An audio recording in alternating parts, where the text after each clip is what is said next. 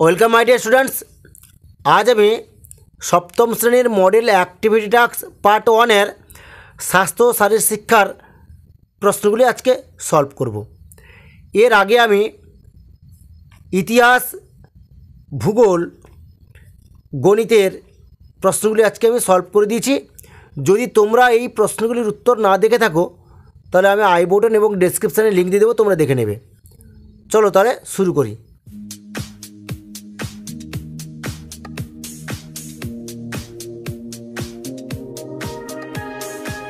একে দেখেছে বহুর মধ্যে থেকে সঠিক উত্তরটি নির্বাচন করে লেখো। কতে কি আছে, একের কতে কি আছে? শ্রদ্ধা ও আত্মবিশ্বাস মানুষকে শক্তিশালী করে তোলে। কে বলেছেন? উত্তরটা হবে তিনের দিকে স্বামী বিবেকানন্দ। খতে কি আছে, শারীরিক কার্যক্রমহীনতা প্রত্যেক মানুষের উত্তম শারীরিক অবস্থাকে ধ্বংস করে। অপরদিকে অঙ্গ সঞ্চালন ও পরিকল্পিত শারীরিক ব্যায়াম এর রক্ষা করে এবং সংরক্ষণ করে। কে বলেছেন? উত্তরটা হবে প্লেটো। গতে কেছে তাকেই বলি শ্রেষ্ঠ শিক্ষা। যা কেবল তথ্য পরিবেশন করে না, যা বিশ্বসত্তার সঙ্গে সামঞ্জস্য রেখে আমাদের জীবনকে গড়ে তোলে গড়ে তোলে।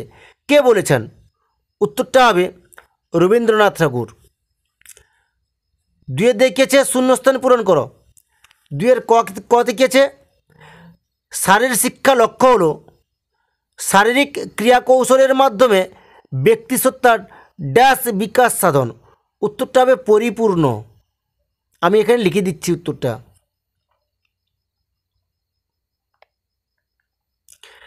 খতে কি আছে শারীর শিক্ষার উদ্দেশ্যে, উদ্দেশ্য বলতে বুঝি শারীর শিক্ষার লক্ষ্যে পৌঁছানোর ধাপগুলির ড্যাশ, উত্তরটা হবে সমষ্টিকে। সমষ্টিকে। গতে কি আছে?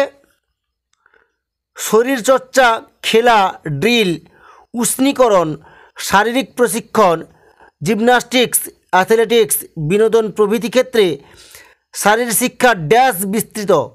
কীভাবে পরিধি হবে উত্তরটা? উত্তরটা হবে পরিধি। ঘ থেকে আছে ড্যাশ দেহভঙ্গি ও সুঅভ্যাস গঠনে সাহায্য করে। উত্তরটা হবে ড্রিল শুধুমাত্র। ড্রিল শুধুমাত্র। উঁতে কি আছে জীবনব্যাপী শিক্ষার লক্ষ্য জ্ঞানার্জন, কর্মের জন্য শিক্ষা একত্রে ড্যাশ শিক্ষা ও প্রকৃত মানুষ তৈরির জন্য শিক্ষা। উত্তরটা হবে বসবাসের। আমি এখানে তীরচিহ্ন করে দিলাম। বসবাসের। তিনে দেখেছে, টিকা লেখো। কতেছে শরীর চর্চা। তিনের কতে তোমরা উত্তরটা এরকম লিখবে, অতীতে অন্যান্য সংস্কৃতির পাশাপাশি শারীরিক সংস্কৃতি বা শরীরচর্চার প্রচলন হয়েছিল। শারীরিক সংস্কৃতি বলতে সুন্দর সৌন্দর্যময় ও পেশিবহুল শরীর লাভের জন্য বিভিন্ন ধরনের পদ্ধতিকে বোঝায়। শরীরের বাহ্যিক সৌন্দর্যকে প্রকাশ করার পদ্ধতিকেই শারীরিক সংস্কৃতি বলা হয়। তিনের ক্ষতে আছে অ্যাথলেটিক্স এর উত্তরটা তোমরা লিখবে। অ্যাথলেটিক্স শব্দটি গ্রিক শব্দ অ্যাথলস থেকে উৎপন্ন হয়েছে, যার অর্থ প্রতিযোগিতা। এবং এতে অংশগ্রহণকারীদের বলা হয় অ্যাথলিট। ব্যাপক অর্থে সমস্ত খেলাধুলাকেই অ্যাথলেটিক্স বলা হয়, যেমন ফুটবল, কবাডি, দৌড়ানো, লাফানো ইত্যাদি। সংকীর্ণ অর্থে অ্যাথলেটিক্স বলতে ট্র্যাক এবং ফিল্ড ইভেন্টগুলিকে বোঝায়। চারে দেখেছে রচনাধর্মী প্রশ্নের উত্তর দাও। চারের ক দেখেছে শারীর শিক্ষার লক্ষ্য বলতে কি বোঝো? লেখো।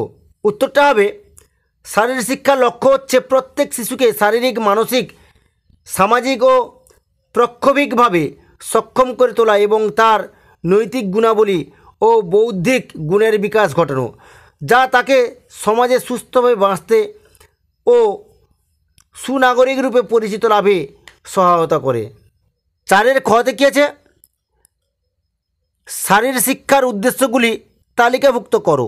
চারের ক্ষয়ের উত্তরটা হবে তোমরা এরকম লিখবে যে জে আর সরমন এর মতে শারীর শিক্ষার উদ্দেশ্য ছয় প্রকার।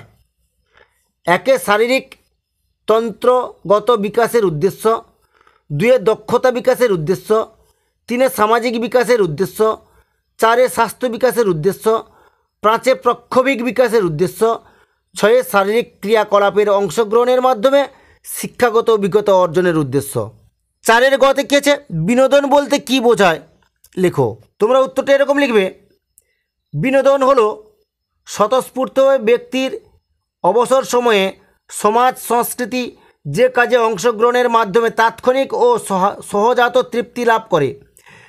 বিনোদনের প্রধান চারটি শর্ত হলো, এক, অবসর সময়, দুই, স্বেচ্ছায় অংশগ্রহণ, তিন, সমাজ সমাজ স্বীকৃত কাজ, চার, সহজাত তৃপ্তি লাভ। দৈনিক জীবনের শারীরিক ও মানসিক ক্লান্তির হাত থেকে মুক্ত হওয়ার জন্য বিনোদনের ভূমিকা উল্লেখযোগ্য। বিনোদনকে প্রত্যক্ষ বিনোদন, পরোক্ষ বিনোদন, সৃজনশীল বিনোদন এই তিন ভাগে ভাগ করা যায়।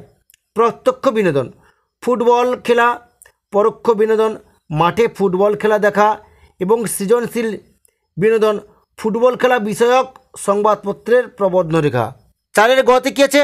জীবনব্যাপী শিক্ষার লক্ষ্যগুলি তালিকাভুক্ত করো। এর উত্তরটা তোমরা এরকম লিখবে, জীবনব্যাপী শিক্ষার লক্ষ্য। একে কি লিখবে? জ্ঞানার্জন বা জানার জন্য শিক্ষা। দুয়ে কি লিখবে? কর্মের জন্য শিক্ষা বা কর্মদক্ষতা অর্জনের জন্য শিক্ষা। তিনে কি লিখবে? সকলের সঙ্গে মিলেমিশে বাঁচার শিক্ষা বা একত্রে বসবাসের শিক্ষা। চারে কি লিখবে? মানুষ হয়ে ওঠার জন্য শিক্ষা বা প্রকৃত মানুষ তৈরির জন্য শিক্ষা। ঠিক আছে?